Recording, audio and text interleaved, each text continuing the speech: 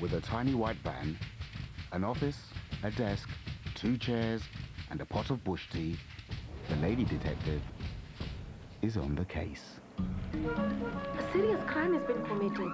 My problem is how to prove it. If someone is very frightened and they live in fear of their life, could you find out why? Whatever you see, whatever you hear. The people who run the ivory trade are more dangerous than any mamba. If threatened, they'll strike to kill. I have a bad feeling about this case. Just stand there and look menacing. If you'd only allow me to put a supportive arm around you. Oh, JB. The number one ladies detective agency. It only takes one person to tell the truth. Just one. Next Sunday at 9 on BBC One.